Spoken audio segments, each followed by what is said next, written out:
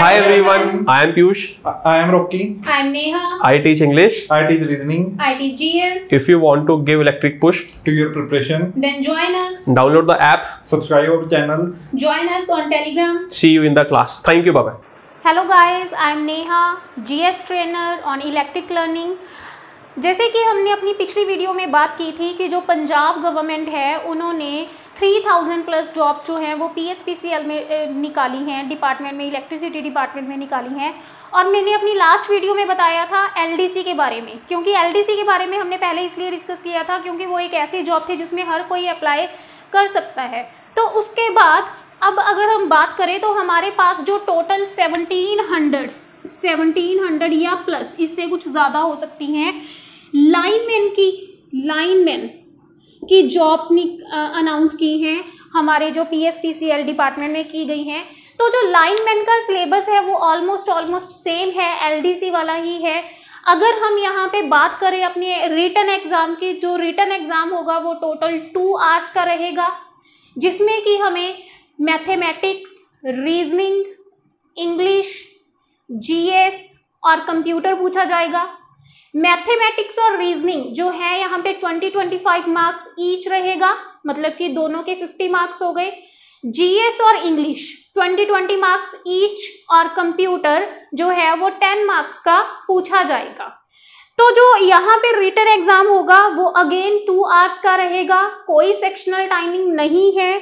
और यहाँ पे जो सिलेबस रहेगा, वो मैं एक बारी आप लोगों को बता देती हूँ तो जो जीके का सिलेबस रहेगा हमारे लाइनमैन के लिए environmental issues geography science and technology Indian polity history Indian and world current affairs national and international Indian economy Indian geography and Indian constitution जैसे कि मैंने आपको पहले भी बताया है कि पंजाब जॉब का जो भी हमारा कोई भी सिलेबस है, उसमें चाहे उन्होंने जीएस में पंजाब जी के दिया हुआ है, चाहे नहीं दिया हुआ, लेकिन हमने उसको पढ़ना ही पढ़ना है, क्योंकि पंजाब जी के में से क्वेश्चन बाय डिफ़ॉल्ट आ ही जाता है।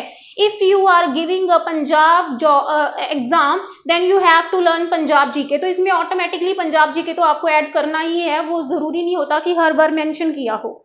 देन उसके बाद हमारे पास न्यूमेरिकल एप्टीट्यूड मींस मैथमेटिक्स का जो सिलेबस है that is fundamental arithmetical operations statistical charts time distance time work pie chart average percentage simple and compound interest profit and loss H C F L C M geometry simplification bar graph mensuration mathematical operations investment data interpretation algebra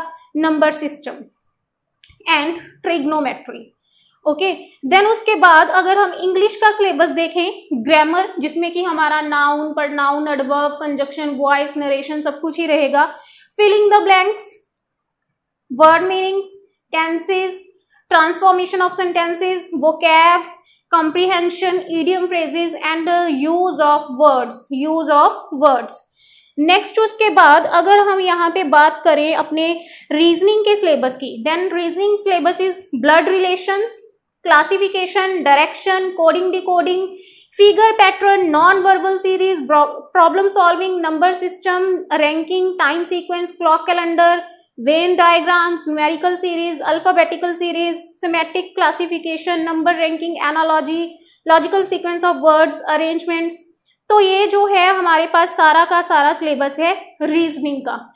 तो basically आप लोग देख रहे होंगे कि हमारे पास जो हमने कल एलडीसी का सिलेबस डिस्कस किया था अभी हमने चाहे वो वार्डन वाला सिलेबस डिस्कस किया है अपनी वीडियो में, चाहे हमने डिस्कस किया है अपना लाइनमैन का तो ऑलमोस्ट ऑलमोस्ट जो सिलेबस है वो सेम है।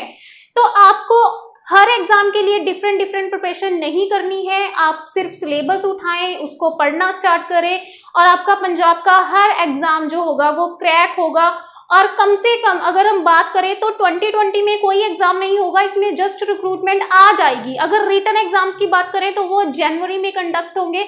तो आपके पास फाइव मंथ्स हैं प्रिपरेशन के लिए तो आप लोग अपनी प्रिपरेशन स्टार्ट कर दें ताकि आप अपना एग्ज़ाम क्रैक कर सकें। Thank you so much